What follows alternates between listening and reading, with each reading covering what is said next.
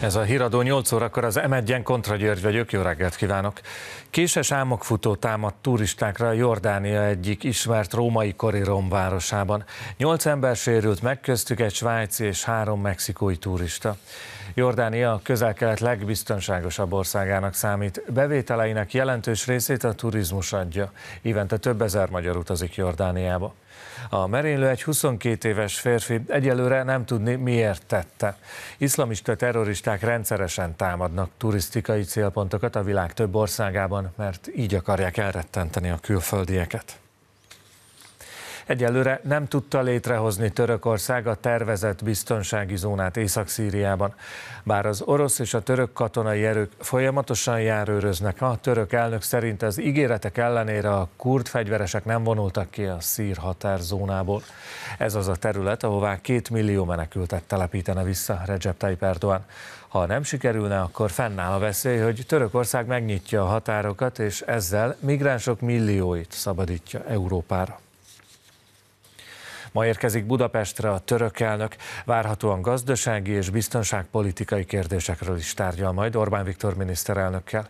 Recep Tayyip Erdoğan látogatása miatt egész nap lezárásokra és forgalomkorlátozásokra kell számítani a fővárosban. A lezárások részletes listáját megtalálhatják a police.hu oldalon. 20 éve nem tud Németország megszabadulni egy bevándorló bűnözőtől. A férfi több mint 150 bűncselekményt követett el. Börtönben is ült, mert drogot árult, és mégiscsak három hónappal ezelőtt, tehát mint egy két évtizedes húzavona után tudták kiutasítani az országból. Ám most embercsempészek segítségével újra Németországban van, és beadta a menedék kérelmét. Vagyis kezdődik, illetve folytatódik a jogászkodás. Az ügy miatt hatalmas a felháborodás felháborodás Németországban. Részletek Wolf Nagy Tündétől. Két évre kitiltották Németországból, egyáltalán nem léphetett volna be az országba, ehhez képest hamis papírokkal, embercsempészek segítségével megérkezett, és az első dolga az volt, mintha mi sem történt volna, hogy besételt a menekültügyi hivatalba, hogy újra beadja a menekült kérvényét.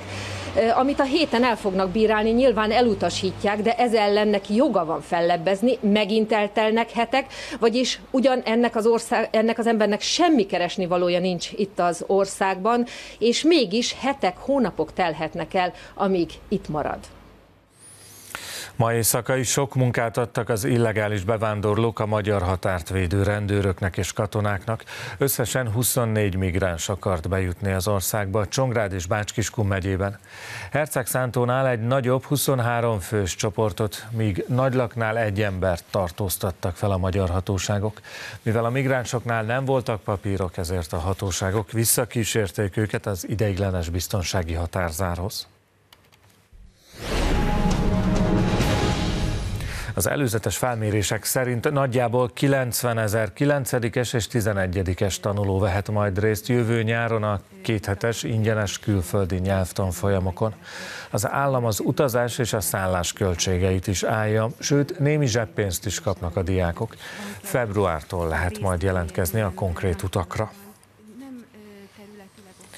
Alapvetően nem támogató a hozzáállása az atlétikai stadion felépítéséhez. Karácsony Gergely ezt azután mondta, hogy részt vett a kormányülésen.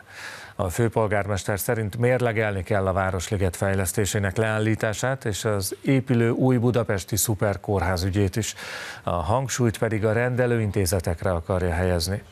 Az atlétikai stadion ügyében pedig november végéig kért időt, hogy a főváros, ahogy fogalmazott, megalapozott döntést hozhasson az ügyben. Egy konkrét beruházásról van szó, az atlétikai stadionnak a beruházásáról. Én azt mondtam a kormánynak, azt, azt képviseltem a kormányülésen, hogy adjanak időt ahhoz, hogy a fővárosi közgyűlés ebben az ügyben megalapozott döntést tudjon hozni, és a leghamarabb ezt a döntést a november végi fővárosi közgyűlés tudja meghozni. Az alaphozzáállásunk nem támogató, ez talán nem lett meg önöket, de egy ilyen fajsúlyú beruházás esetében azt gondolom, hogy fontos minden körülményt mérlegre tennünk, ezért kértem ezt a, a miniszterelnök úrtól, hogy, hogy ebben az értelemben kapjon a fővárosi önkormányzat a megalapozott döntés érdekében haladékot. A kormány partnernek tekinti a főváros új vezetését, erősítette meg Gulyás Gergely a főpolgármesterrel tartott közös sajtótájékoztatóján.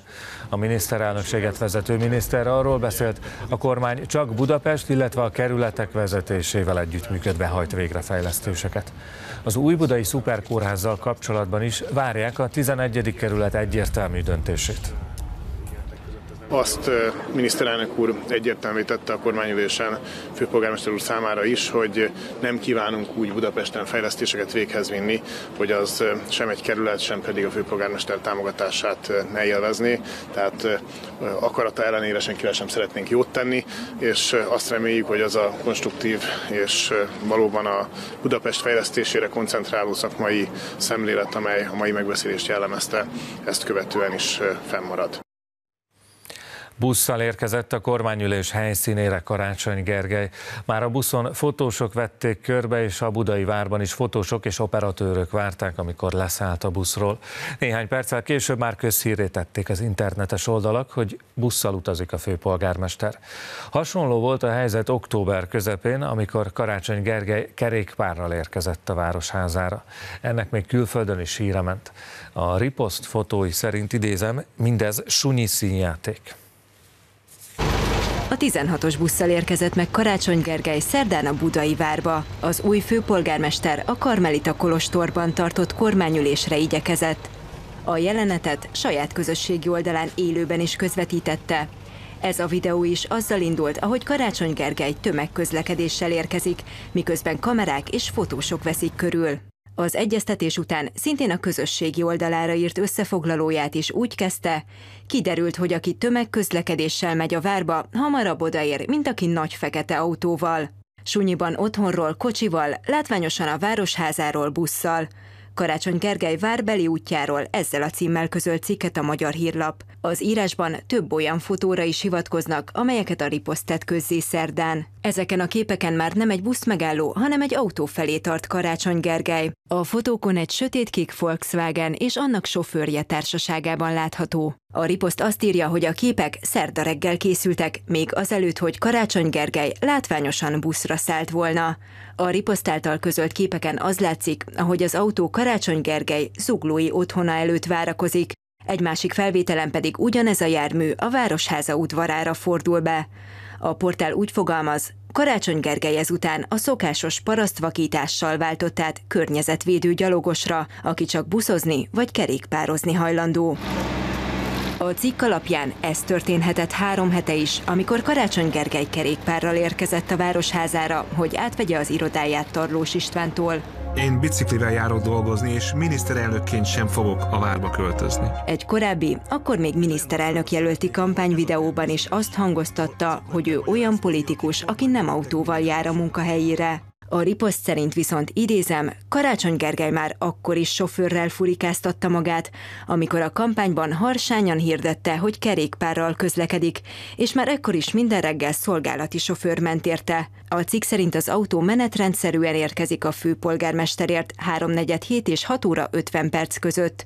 Tesz néhány kört a ház körül, amíg a sofőr ellenőrzi, hogy nincsenek-e újságírók a környéken, majd egy közeli ház kapujánál parkol le. Karácsony Gergely csak ezután száll be. Így a portál szerint, miközben a főpolgármesterről eddig is sorra készültek a buszos és kerékpáros képek, a hátsó utcákban konspirálva mindig átült a szolgálati autóba. Nem ez lenne az első eset, hogy ez kiderül. A választások előtti kampányhajrában a 888.hu írta meg Karácsony Gergelyről, hogy idézem, zugló Lance Armstrongja négy kerékre váltott. Karácsony Gergely akkor saját közösség oldalán maga ismerte el, hogy egy bérelt gépjárművel közlekedik, de azt írta, hogy csak a kampány utolsó heteinek sűrű programjai miatt bérelt egy Skodát, és sosem volt hivatali autója. Mostanáig a budapesti közgyűlés alakuló ülésén ugyanis arról is döntöttek, hogy a főváros neki és mind az öt helyettesének is biztosítja a hivatali gépjárművet, amit az ellenzéki politikusok meg is szavaztak maguknak. Az erről szóló előterjesztésben az is szerepel, hogy az autókat nem csak hivatali, hanem személyes célra is használhatják. Arról, hogy mindezt Karácsony Gergely hogyan egyezteti össze sokat hangoztatott Zöld Budapestet hirdető programjával, és hogy mióta vesz igénybe titokban sofőrös szolgáltatást, miközben a sajtóban azt a látszatot kelti, hogy kerékpárral közlekedik. Levélben megkérdeztük a főpolgármestert is. Karácsony Gergely közösségi oldalán reagált. Azt írta, a Városháza legkisebb autóját használja. Azt ugyanakkor elismerte, valóban előfordul, hogy autóval megy a dolgára. Előadás közben leszakadt a mennyezet a londoni Piccadilly színházban.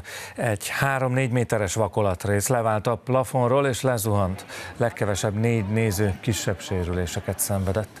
A rendőrség több mint ezer embert evakuált az épületből. Kukába szorult medvét szabadított ki a kaliforniai rendőrség. A hatalmasra nőtt állat valószínűleg élelmet keresett a szemetes konténerben. A rendőrök egy bottal megemelték a kuka lecsapódott tetejét, ezután a medve lassan kimászott a tárolóból. Az óriás mackó nem volt ismeretlen a helyi rendőrök előtt, már többször próbálták elkapni kukázás közben. A melkasán lévő fehér szőrfolt alapján a t-shirt, azaz a póló becenevet kapta.